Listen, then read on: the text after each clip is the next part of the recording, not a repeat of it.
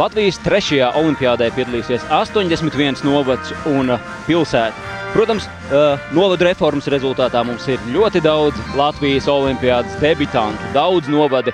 Latvijas olimpiādē startēs pirmo reizi. Līdz ar to viņiem būs iespēja pārstāvēt savu novadu konkrētākā, šaurākā, lokālākā varbūt pārstāvniecībā. Un redzam pirmos pārstāvjus, un tas ir aizkrauklis novads. Aizkrauklis novadu šajā olimpiādē pārstāvēs 11 dalībnieki. Aizkrauklieši lepojas ar volejbolu, basketbolu, rokas bumbu, futbolu un florbolu. Īpaši droši vien lepojas ar Igoru Kazakēviču, kurš Pekinas olimpiādē startēja 50 km distancē un izcīnījis 16. vietu. Lūk, aizputes novalda pašvaldība. Un būtiski tas, ka aizputieši palīdz šīs olimpiādas rīkošanā, jo aizputē notiek handbola un regbija sacensības. Šodien tās jau ir sākušās. Aizpūti pārstāvēs 30 sportistu delegāciju. Īpaši viņa lepojas ar ložu šaušanas komandu un vieglatlētiem, tāpat arī ar plūdmalas volejbolistiem un motokrosistu, jauno motokrosistu Paulu Jonasu. Lūk, redzam, Alojas novada. Četri dalībnieki. Mazs bija mans novadiņš, bet ražēni turējās. Un šeit īpaši jāuzteic Staicele. Staicelē ir īpašs futbola centrs, tur ir daudz futbola laukumu un daudz tiek ieguldīts jaunatnes futbolā. Latvijas olimpiādē Alojas novads piedalās pirmo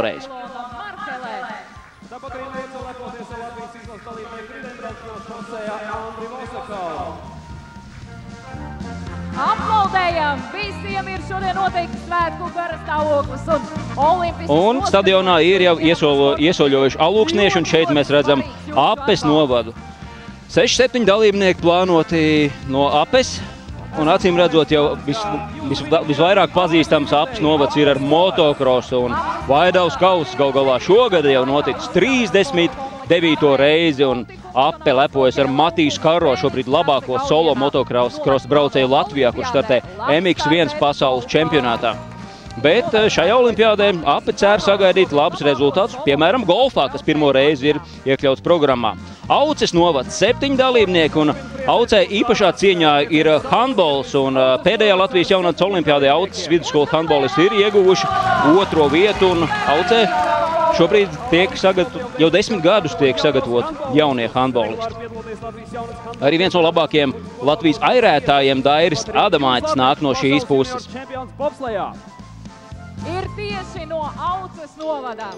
Ādažu novads, nu kupli pārstāvēts. Noteikti daudzos sporta veidos ādažnieki var lepoties ar labiem sasniegumiem. Tas ir judo, tenis, veikbords, florbols pēdējos gados arī ādažos tiek attīstīts motosports, protams, un grieķu romiešu cīņa.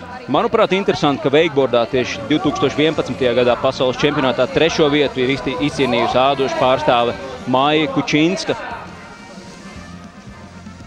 Motokrosā redzam, ka šogad viņi lepojas ar MX ādaži izcīnīt uzvaru uh, vienā no Latvijas čempionāta posmiem Babītas novadā. 24 dalībnieki.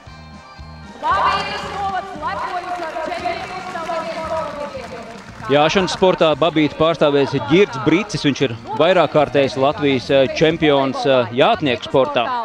Tāpat lokšāvējs tiešām Latvijā labākais Eduards Lapsiņš. Volejbolā ir sieviešu komanda Babīta, viena no labākajām Latvijā. Mums nebeidzas ovācijas un mēs noteikti sveicam arī Baldonas novada pašvaldību. Tieši tā, Liepājas Daugavas stadions sagaida Baldons novadu, kas lepojas ar regbistiem.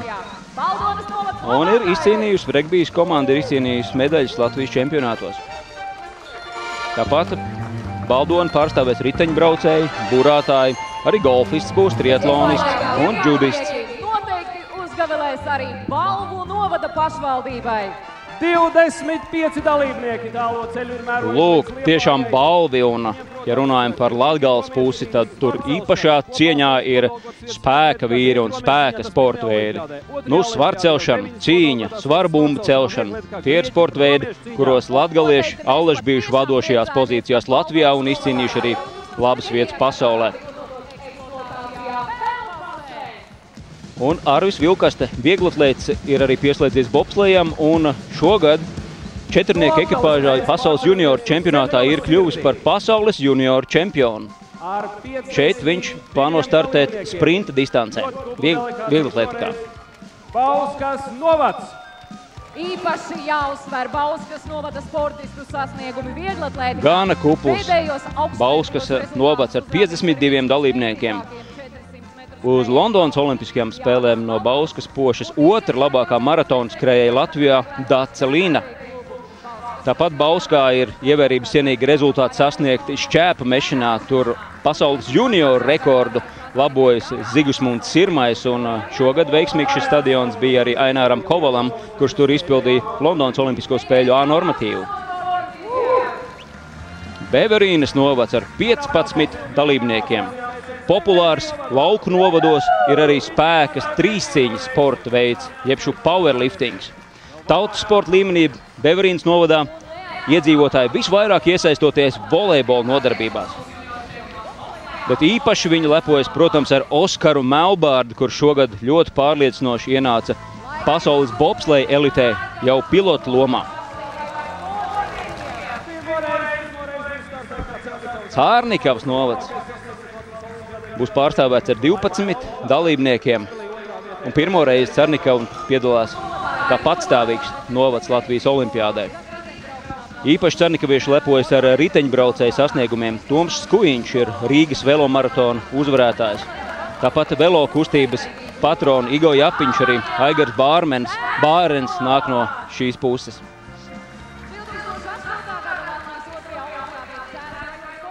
Cēsu novads, protams, mums saistās ar ziemas sporta veidiem, bet šeit ekrānā redzam Māri Urtānu, kurš piedalīsies savās otrajās olimpiskajās spēlēs Londonā, un šeit viņš pārstāvēs savu dzimto Cēsu novadu.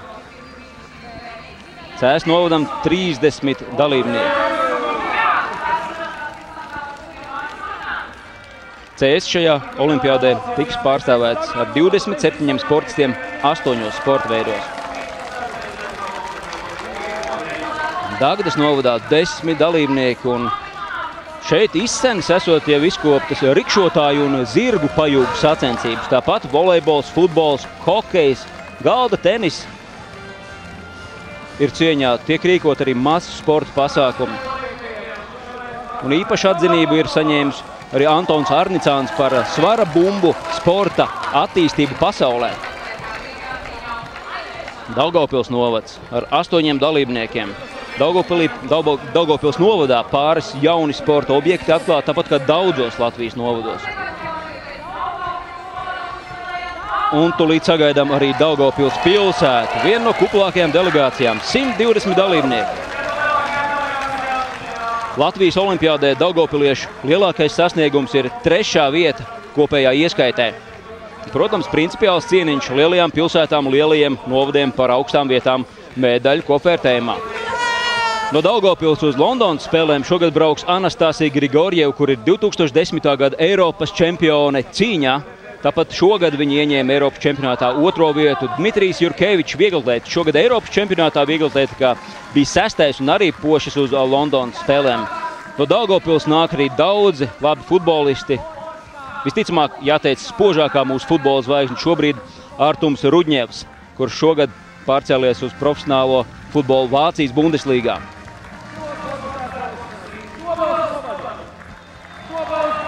Liepais stadions sagaida doba, Dobeles novada ar 40 dalībniekiem. Dobeli isen zinām kā handbola centrs, un tur ir lieliski sporta halli, kurā arī pavisam nesen pirmo reizi ir sarīkots Eiropas un pasaules čempionāta kvalifikācijas spēles handbolā vīriešiem.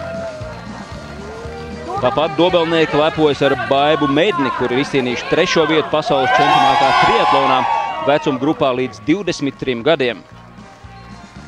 Un Jānis Girgensons esot trīskārtais Latvijas čempions krosā. Durbe! Durbes. No Durbas nāk labi riteņbraucēji, triatlonisti, skrējēji un arī pludmales volejbolisti. Ja runājam par tautas sportu un izturību, tad noteikti jāpiemina triatlonists Dainis Žuburs, kurš ar šo sportu veidu nodarbojas jau sen un divreiz veicis Ironman distanci Vācijā ar gana pieklājīgu rezultātu. Tas- Tas ir īpašs izturības pārbaudījumus. Gārkalnes novada pašvaldība. Arī Gārkalnē cieņā ar jātnieku sports un regbijs. Jā, Gārkalnieši lepojas ar visiem savējiem, bet, protams, šajā trakajā hokeja desmitgadē īpaši ar šī gada pasaules čempionāta atklājumu Miku Indraši un arī Kasparu Daugoviņu, kas pagājušo sezonu aizvadīja Nacionālajā hokeja līgā. Un arī Latvijas izlases basketbolists, viena no līder, līderēm Aija Putiņa. Grobiņas novada pašvaldību sagaidām, un Grobiņas ir 20 sportistus un trenerus. Grobiņnieki par savējo uzskata arī Matīsu Burģi, kurš dosies uz Olimpiskajām spēlēm. Pavisam nesen viņš izcīnīja tiesību startēt Londonā un pirmo reizi Latvija tiks pārstāvēta galda tenisā. Īpašs goda grobiņnieka tituls ir piešķirts motobraucējam Laurim Freibergam, kurš pirms Matīs Karo bija veiksmīgākais latvietis pasaules motocross elitē. Gulbeniešu zaļās krāsas jau pazīstams Latvijas sporta aprindās. Un Gulbeni, protams, slavena arī ar ziemas sporta veidiem - bobsleju, biatlonu, slēpošanu. Tāpat tur ir kārtīgs basketbola centrs un no Londonas olimpiešiem īpaši jāuzteic Armands Virbuls, kurš pagājušo gadu bija piektais pasaules čempionātā cīņā un šobrīd pavisam nesen ir atgriezies no Dagestānas, aizdījis kārtējo treniņu nometni un briest savam Olimpiskās debijas startam. No šejienes nāk arī Domans Dreiškens, Edgars Maskalāns, ziemas sporta veidu pārstāv Madara Līduma. Redzam Ievcevas novads un tā 25 dalībniekus. Šajā olimpiādē viņa lielas cerības saistot ar stenda šaušanu un vieglu atlētiku. Stenda šaušanā startēs vairāk kārtējs Latvijas čempions Dainis Upelnieks. iecauniekiem ir saistītas ar stenda šaušanu un vieglu atlētiku. Lēnām pildās Daugavas stadions šeit Liepājā. Tveids arī nedaudz atkāpjas. Un, uh, liels prieks gan skatītājiem, gan pašiem dalībniekiem. Ikšķils novads un tā 11 dalībnieki. Populārāko sporta veidu joprojām Ikšķilē ir basketbols, volejbols, florbols, riteņbraukšana. Ikšķilē daudz jauno sportistu un Latvijas vasaras olimpiskajās spēlēs jauniešiem Anse Janēvica ir izcīnījusi zelta medaļu MTB riteņbraukšanā. Un šogad startēs jau pieaugušo sacensībās šeit Latvijas trešajā olimpiādē. Inču kalns ar īpašu dziesmu par čiekuriem. Jā, Inču kalns tiešām ir pasaulē jau atpazīstams ar gana skaļu sporta veidu, un tas ir stunt ridings, jeb šo triki ar šosejas motociklu, un tas ir Jānis Rodzīts, kas ir viens no vadošajiem stunt rideriem Austrum Eiropā. Tāpat Inčukalnā katru gadu notiekot jauno jātnieku skolas starptautiskas sacensības. Ilūksti, ilūksti zinām ar labiem Latvijas futbolistiem Andri Vaņinu, Jurīši Gājevu, Rolandu Kļaukli, kur ir Latvijas futbola izlases kalibra spēlētāji. Arī Zemgals komandu. Jelgavas Zemgalieši, Jelgavas novada pašvaldība un tās 55 olimpiādas dalībnieki. Pirmajā un otrajā olimpiādē Jāgauts novads izcīnījis medaļas vieglatlētikā, brīvajā cīņā, volejbolā. Šogad Eiropas čempionātā no Jāgauts novada vieglatlētikā piedalījās diska metējs Oskars Vaisjūns. Jāgauts pilsēta 190 dalībnieki. Tiešām viens no plašāk pārstāvētajiem novadiem pilsētām. Latvijas pirmajā olimpiādē Jelgava izcīnīja otro vietu, apliecinot īstas sporta pilsētas status. Lūk, arī Jelgava iesoļo Liepājas Daugavas stadionā. Jelgava, protams, izsens bijusi zinām ar peldētājiem. Tāpat Jāgaunieki lepojas ar to, ka gada laikā 30 dažādos sporta veidos sarīkojuši turpat tūkstoši dažādu līmeņu sacensības. Protams, šis ir pasākums, kur arī mēs slavinām šo aktivitāti. Varbūt pat ne tikai elites līmeņa, līmeņa sacensībās, bet arī jebkuras bērnu sacensības ir slavējams. Tas ir galvenais šo arī Latvijas Olimpiādas sacensību mērķis - popularizēt sportu un lepoties ar to, kas notiek visā Latvijā, dažādos līmeņos.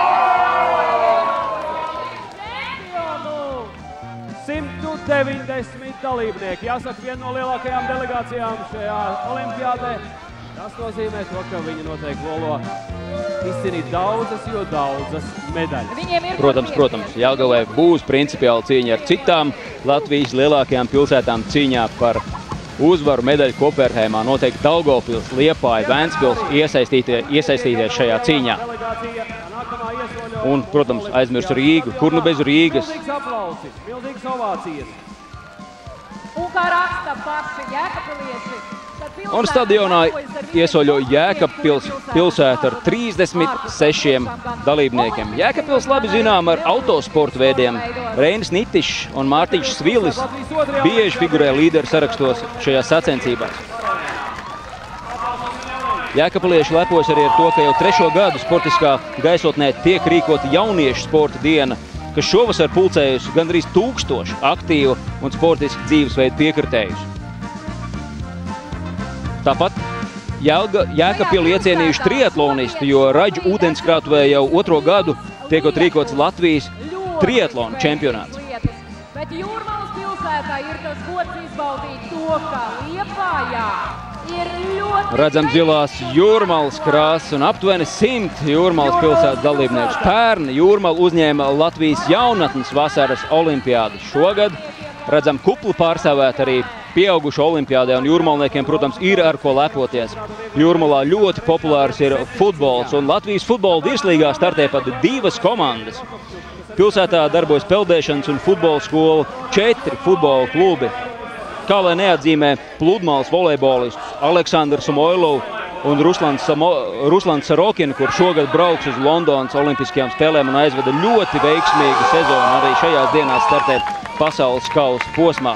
Protams, jāatzīmē arī Lauras Ikaunieces fantastiskais starts Eiropas čempionātā vieglatlētikā, kur viņa daudz cīņā negaidīti, daudziem tiešām negaidīti izcīnīja bronzas medaļu.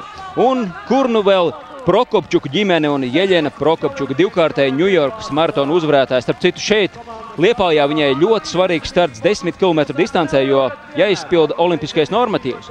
Kandavas novads iesoļo ar saviem 16 dalībniekiem. Kandava Allaž ir bijusi sportiska pilsēta, un, protams, tāds ir arī Kandavas novads. Kandava kā ats, atsevišķs novads Latvijas Olimpiādē startē pirmo reizi.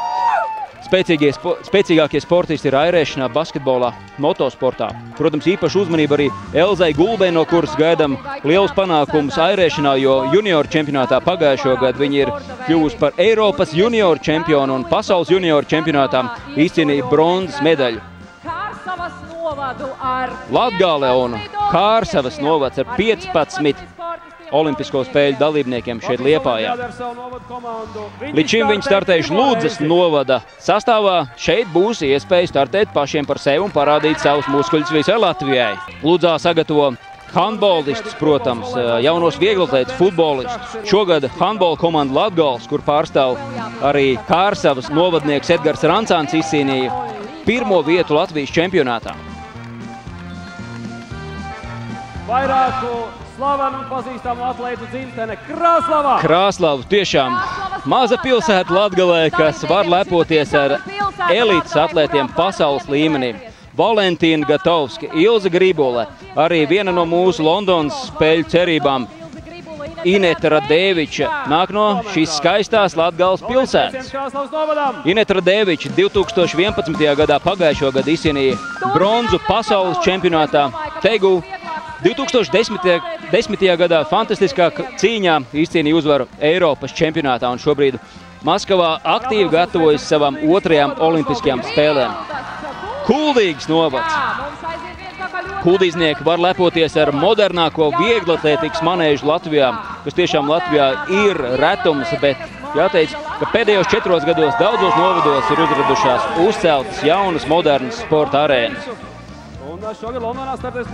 Kuldīgs novads lepojas ar Ingus Janevits soļotāju, šķēpmetēju Ingu Kažerēnu, protams, riteņbraucējs pasaules čempions Romāns Vainšteins, arī Andris Reis. Šogad Londonā startēs pludmales volejbolists Jānis Šmēdiņš. Viņš spēlēs kopā ar Mārtiņu Pļaviņu. Viņi kopā pagājušo gadu izcīnīja 4. vietu pasaules čempionātā.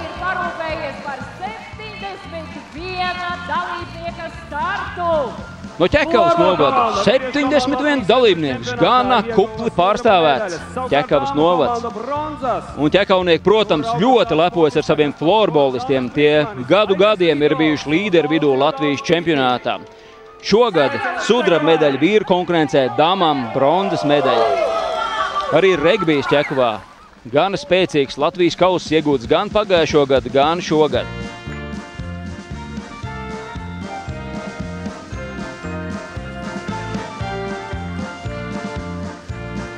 Šī pilsēta pieminot noteikti nāk prātā. Smaiļotāji vispirmām kārtām. Ja reiz smaiļotāji, tad noteikti tas ir Limbaģis novads un tā 20 dalībnieki. Limbaģis ir tā pilsēta, kas arī nāk talkā liepainiekiem. Lūk, redzam arī Ines Jursoni, viena no Latvijas labākajām pludmales volejbolistēm. Bet, protams, Limbaģis ir slavena ar savu airēšanas bāzi un tur notiks trešās Latvijas olimpiādas sacensības kanoē, airēšanā un smaiļošanā. No Limbaģiem nāk smaiļotājs Kristaps Zaļupe. Viņš ir Pekinas olimpiāda dalībnieks un uh, viņš ir pirmās un otrās Latvijas olimpiādas uzvarētājs. Mēs dodamies tālāk un sagaidām ar ovācijām Līvānu novadu 17 dalībnieki. Tieši tā, stadionā iesoļo Līvānu novads. Līvānu novadā spēcīgi vieglatlēti, kuri startē Latvijas līmenī, Latvijas izlases sastāvā. Arī īpaši līvānieši lepojas ar savu ratiņu basketbolu pārstāvu Raimundu Begīnski, kurš ir valsts izlases dalībnieks, un no šī gada viņš ir Latvijas izlases treneris un vienlaikus spēlē arī pats. Tāpat arī, tāpat arī sēdu volejbols ir tiek kultivēts Līvānos šīs paralimpiskais sporta veids.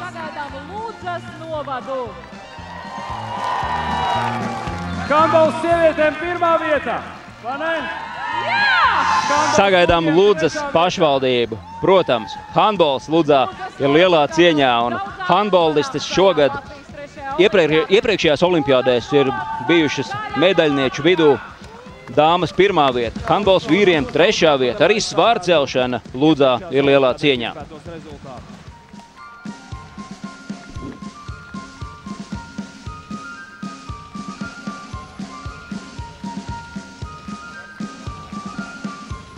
Lepojas ar savu smeceres silu.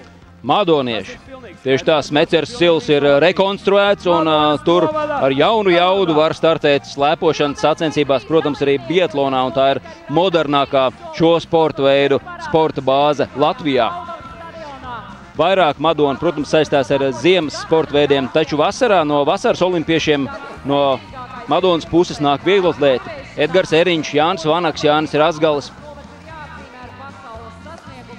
Pasaulē, protams, La Madonas vārdu gan skaļi nes arī motocross braucēji. Motocrossā ar blakusvāģiem brāļi Jānis un Lauris Daideri.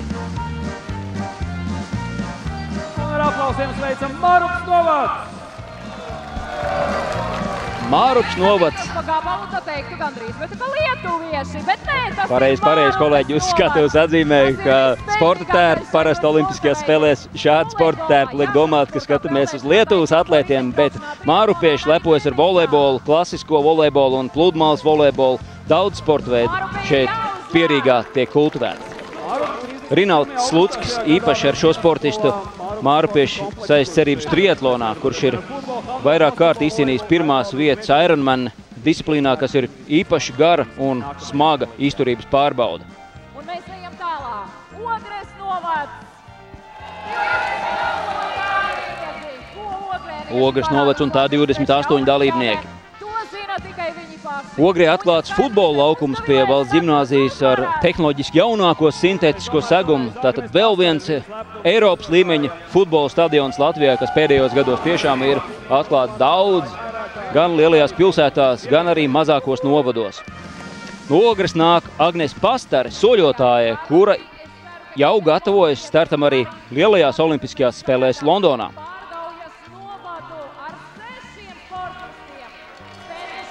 Jā, redzam, mūsu pludmales volejbolists jau ieņēmuši vietas Daugavas stadiona tribīnēs, bet šeit ar īpašām ovācijām stadionā tiek sagaidīts Pārgaujas novads, kur pārstāvēs seši dalībnieki. Pārgaujā populārs florbols. Pārgaujas komanda spēlē augstākajā līgā, gan pieaugušo, gan jauniešu līmenī ar labiem panākumiem. No šī novada Ziemas olimpiskajās spēlēs Vankūverā startēja Gerda Krūmiņa biatlonā. Pļaviņu novads. Un tā astoņi dalībnieki.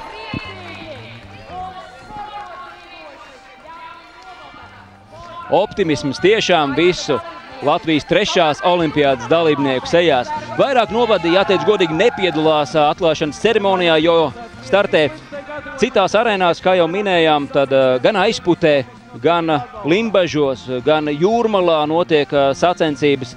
Tā kā mērot šo ceļu, varbūt atsevišķiem sportistiem uz atklāšanas ceremoniju nav bijis liederīgi, ja, piemēram, rīt no rīta ir jāstartē jau savos atbildīgajos startos. Sagaidām Preļu novadu un tā 20 dalībniekus. Preļu novads piedalās šajā olimpiādē ar vieglatlētiem un galda tenisistiem.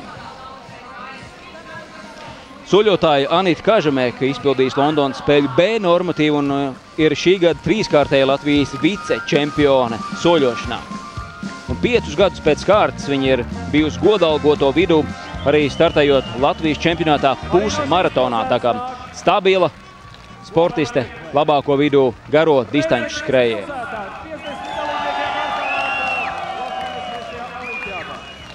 Reizeknas pilsēta ar 50 olimpiešiem.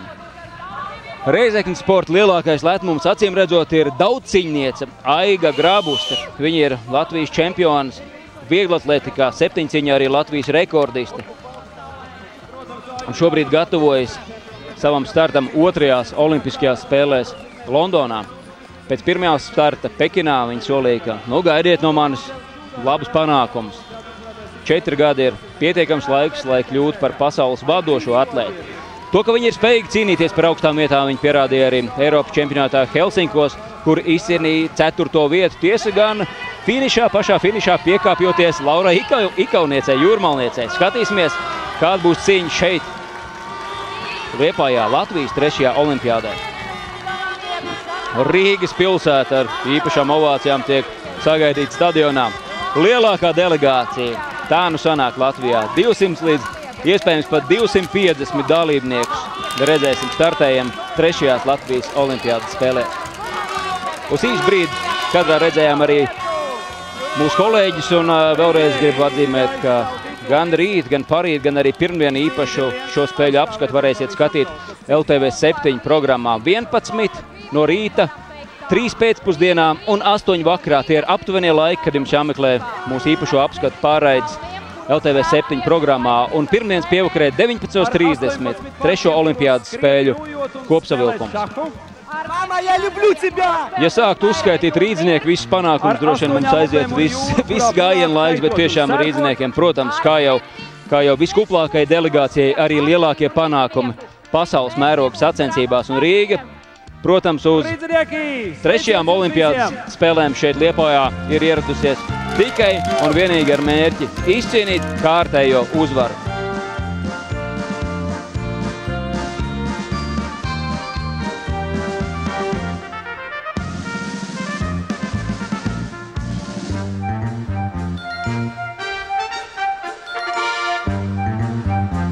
Sportisti ieņēmuši jau vietu tribīnēs un gaida arī pārējo ierašanos. Skatītājs šeit Liepājā notiek arī mūzikas festivāls un līdz ar to nu, kuriem tiešām tāds amatieru līmenis, tad varbūt arī startu olimpiādas sacensībās varēs izbaudīt, savienojot ar šo mūzikas festivālu. Sagaidām Rojas novadu un tās sešus dalībniekus. Rojas novads ir lepns ar saviem florbolistiem. Vairāki rojienieši florbola izlases sastāvā ir pārstāvējuši Latvijas godu Eiropas un pasaules čempionātos. Un spēlētāja Baiba Juruša ir pasaulē vienīgā, kur piedalījušies visos astoņos pasaules čempionātos. Olimpiskais kārs nav paguris nevienam? Nē. Bet rojienieši neliedz, ka visvairāk uzmanību tomēr viņi pievērš tautas sportam, kas, protams, ir apsveicami. Jo no tautas sporta, protams, nāk arī elites atlēti vēlāk. Rucavs novads un 13 dalībnieki. Pirmo reizi Rucava tiks pārstāvēta kā novads, un pirmo reizi tā tiks pārstāvēta galda tenisā. Un būs arī viens pārstāvis sporta hale un viena no tās darbības sfērām būtu Latvijas galda tenisa mekka. Salas grīvas novads. astoņi dalībnieki, astoņi, deviņi dalībnieki. Aplausi! Smaiļošana, kanvērēšana, vieglietība. Jā, sagaidām salacgrīvu ar novada deviņiem dalībniekiem. Smaiļošana un kanoja airēšana, tāpat vieglatlētika un dambreti ir svarīgāko novadu sporta veidu vidū. Volejbols dāmām, basketbols vīriem, basketbols jauniešiem un starp novadu sacensībās futbolā arī Salacgrības novads ir izcēlies. Salaspils un tā 40 dalībnieki. 40 atlēti. Handbols, vieglatlētika, karate un riteņbraukšana ir populāri sporta veidi Salaspilī. Interesanti būs pasakot tiešām arī Mārtiņa. Novadā dalībai triatlonā, jo mēs viņu tomēr vairāk pazīstam kā vienu no Latvijas vadošajiem vieglatlētiem garo distanču skrejējiem. Viņš ir Latvijas rekordists joprojām 3000 metru skrejienā. Karate, riteņbraukšana un, protams, arī vēl daudzi, daudzi citi sporta veidi. Liepainieki uzgavilē, nu jāsaka tā, vieniem no saviem kaimiņiem. Liepājā vai ir skaļi aplausi Saldas novadam, kurš iesoļos stadionā ar 40 dalībniekiem? Nu, ar patiesu interesi tiešām gribētu dzirdēt, vai ar skaļiem apla- aplausiem saldēnieši tiks sagaidīt, jo tās kaimiņu būšanas jau ir tās principiālākās. Saldu šajās olimpiādas spēlēs pārstāvēs 40 dalībnieki. Akadēmiskajā airēšanā Latvijas elites līmeņa sportists ir Lauris Šīre, kurš ir pasaules čempions U23 vecuma grupā. Edgars Bergs Lodzgrūdējs ir izcīnījis piekto vietu pasaules paralimpiešu čempionātā.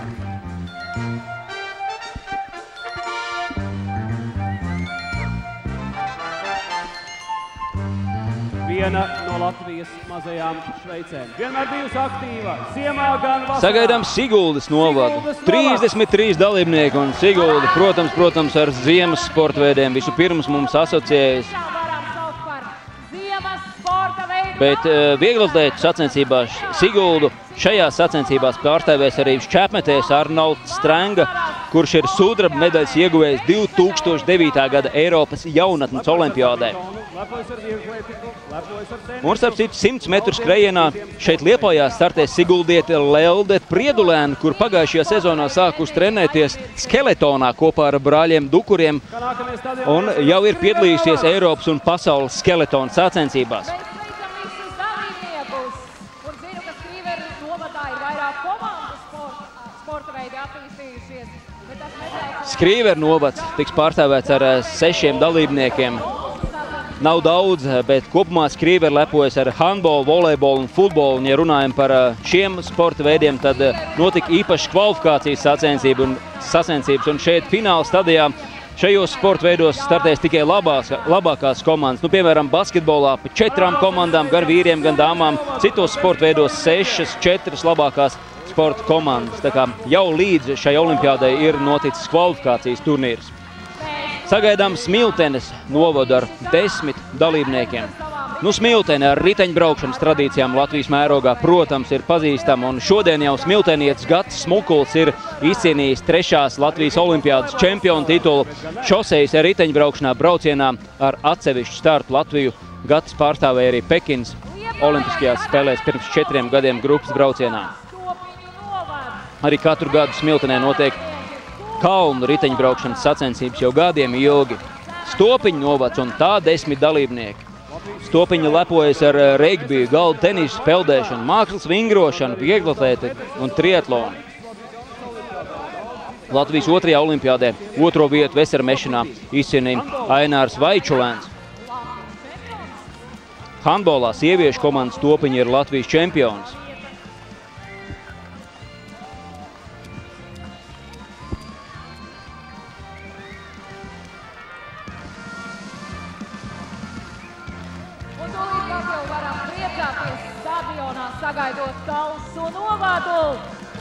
Talsu novads un tā 28 dalībnieki. Arī Talsos ir jauna, skaista sporta hale, kur var trenēties gan basketbolā, volejbolā, vieglatlētikā.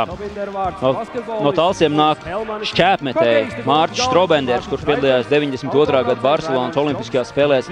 Viņa dēls arī Rolands Strobenders šobrīd cī, trenējas šķēpmešanā un ir izcīnījis 4. vietu Eiropas junioru čempionātā pagājušo gadu.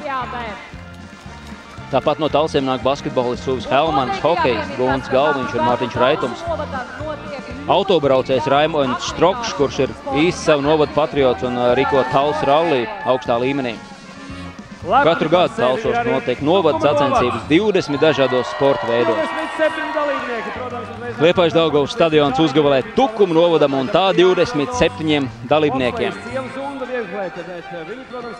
Ronalds Arais veiksmīgi šogad startēja Eiropas čempionātā 100 metru sprintā. Iedomājieties, Latvijas piedalījās Eiropas čempionāta fināla skrejienā 100 metru sprintā. Nu, diemžēl Ronaldam smaga trauma, cīnoties, cenšoties izcīnīt pēc iespējas augstāku vietu. Tur viņš ierindojās sestajā vietā, bet traumējās un, diemžēl, nevarēs piedalīties savu sapņu piepildījumā. Otru reizi piedalīties Olimpiskajās spēlēs, šoreiz Londonā.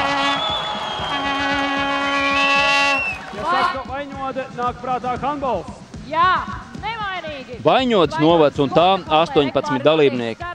Vaņots novads var lepoties ar savu vīriešu handbola komandu, kur jau otro sezonu veiksmīgi piedalās Latvijas čempionāta virslīgā. Tā kā uz augšu handbols iet Vaņodē arī elites līmenī. Mēs turpinām sveikt mūsu atlētus, stiprākos no stiprākajiem. Balkas novads ar 24 dalībniekiem. Pilnīgi jāpiekrīt Uģim un jāuzgabalē tiem, kur ir ieradušies pārstāvēt savu novadu, kur dzīvo šajā novadā, kur varbūt ir aizklīduši pasaulē, bet šeit uz šīm olimpiādas spēlēm Latvijā atgriezušies mājās, lai godam pārstāvētu savu novadu. Tāpat kā šie 24 Valkas novada pārstāvi. Valka šajās olimpiādas spēlēs piedalīsies sešos sporta veidos. Valmieras pilsētā!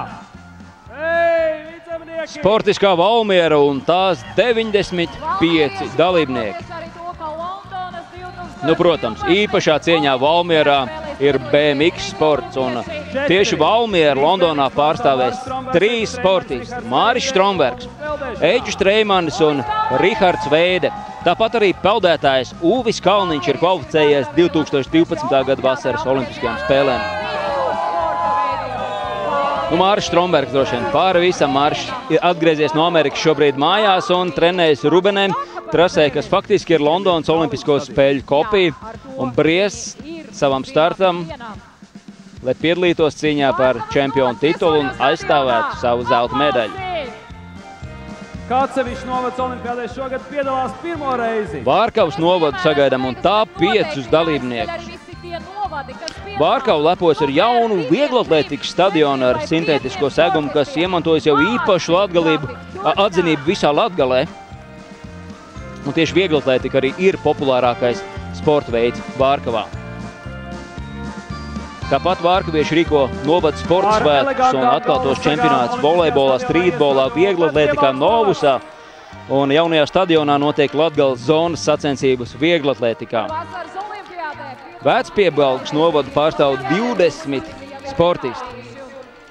Vecpiebalgā jau visens aktīvi spēlē volejbolu un Īpaši, protams, šis novads var lepoties arī ar Kasparu Stupeli, kurš ir pasaules čempions motokrasā blakus valāģu klasē un šobrīd ir pasaules čempionāta līderis. Un viņš faktiski ir paraugs, kā gatavoties sezonai, kā strādāt ar sevi un kā apliecināt sev pasaules līmenī. Vecumnieku novads un tā karognesējs tikko redzējām Aināru Kovalu, kurš veiksmīgi ir izpildījis Londonas Olimpisko spēļu A normatīvu un piedalīsies savās otrajās Olimpiskajās spēlēs. Pirmajās, kā mēs labi atcerēmies, tad uh, viņš parūpējās par vienu no lielākajiem pārsteigumiem, izcīnīja sudraba medaļu pēdējā metienā, saņemoties īstajā brīdī. Londonas normatīvs viņam nāca ilgi, grūti, bet tas beidzot ir noticis. Cerams, ka Londonā mūsu čempionāts tiešām nostartēs krietni vien labāk nekā aizvītajā Eiropas čempionātā Helsinkos. Vēnspils novada pašvaldību. Vēnspils novadu pārstāvēs arī viena prominence, un tas ir neviens cits kā Loka goda prezidents Vilnis Baltiņš, kurš jau gadiem ir aizrāvies ar golfu. Un uh, šajās olimpiādas spēlēs Vēnspils novadu pārstāvēs tieši golfu sacensībās Usmā. Tā kā savu laukumu priekšrocības Vilnim Baltiņam senioram varētu būt. Un redzam dzeltenās krāsas, kas pēdējos gados asociējas ar Vēnspils pilsētu. Vēnspils komandu Latvijas 3. olimpiādē pārstāvēs 155 sportisti, kuri startēs 19 sporta veidos. Vēnspils pārstāvēs Latvijas olimpiešu Londonā Madara Palamēka šķēpmetēji, tālecēja Lauma Grīva, svarcēlājs Ārtūrs Plēsnieks, soļotājs Arnis Rumbinieks, Protams, mēs ļoti ceram, ka Londonas olimpiskais normatīvs šeit, Liepājā, A normatīvs padosies šķērpmetējai Sintai Ozoliņai, kas zina, varbūt izšauja arī Ancis Brūns, Ēriks Raks un Valērijas Žolnerovičs, viņš maratons krējējs.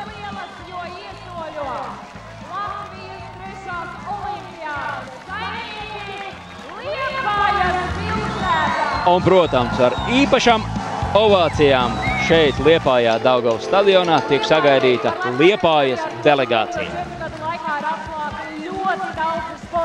Īpašs grūdienis Liepājas sporta attīstībā, protams, ir bijis Liepājas olimpiskā centra izbūve un atklāšana 2008. gadā. Kopš 2008. gada faktiski katru gadu elites līmeņa Eiropas un pasaules sacensības basketbolā ir aizvadītas Liepājā. Sākot jau ar 2009. gada Eiropas čempionātu dāmām. Un šeit Liepājā fantastiskā libi, tribīņu atbalstā startēja arī Latvijas sieviešu basketbola izlase. Protams, īpaši Liepājnieki lepojas ar Romānu Miloslavski, kurš pagājušajās olimpiādas spēlēs Ventspulī izcīnīja četras zelta medaļas. Viņš peldētājs, vairāk kārtais olimpisko spēļu dalībnieks. Un Poļina Jeļizārava, 3000 metru skrejēja, šogad parūpējās par lielu pārsteigumu, šogad labojot Latvijas rekordu. Un uh, Eiropas čempionātā Helsinkos izcienīja ļoti augsto sesto vietu.